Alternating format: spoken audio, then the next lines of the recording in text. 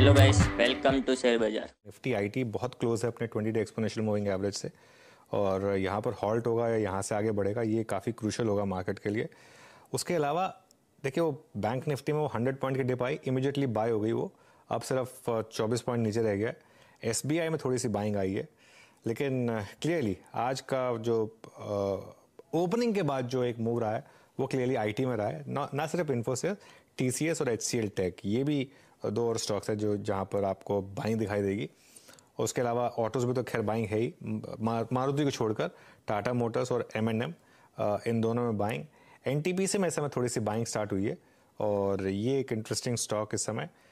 In fact सारे के सारे P S U stocks O N G C ले लीजिए आप कोल इंडिया ले लीजिए आप, ये सारे के सारे स्टॉक्स इस समय मॉर्निंग हाई पर और बात करते करते टाटा मोटर्स ने फिर एक बार इंट्राडे हाई बनाया। अब करीब करीब एफ़ एन ओ में ये स्टॉक साढ़े आठ परसेंट की तेज़ी के साथ ट्रेड कर रहा है। आज बहुत इंटरेस्टिंग चीज़ हो रही है।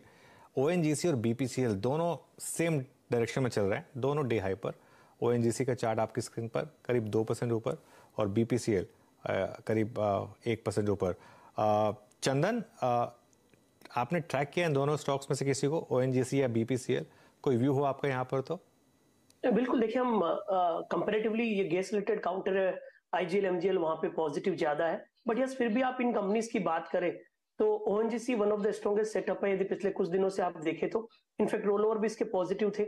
और जब भी डिप आते हैं वापस से खरीदारी में तब्दील हो जाते हैं।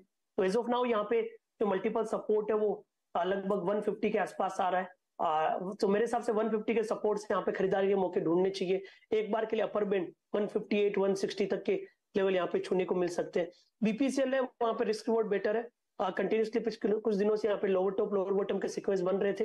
बट की रिट्रेसमेंट जोन से टर्न हुआ है, लगभग यहाँ पे देखोगे 327 का सपोर्ट है वो होल्ड कर रहा है तो 327 को ही सपोर्ट बना सकते एक बार के लिए 350 तक के स्विंग करने के लिए। तो दोनों ही काउंटर में बायस हल्का सा पॉजिटिव है बायोन डिक्लाइन की रणनीति के साथ इनके बाउंस को प्ले कर सकते हैं।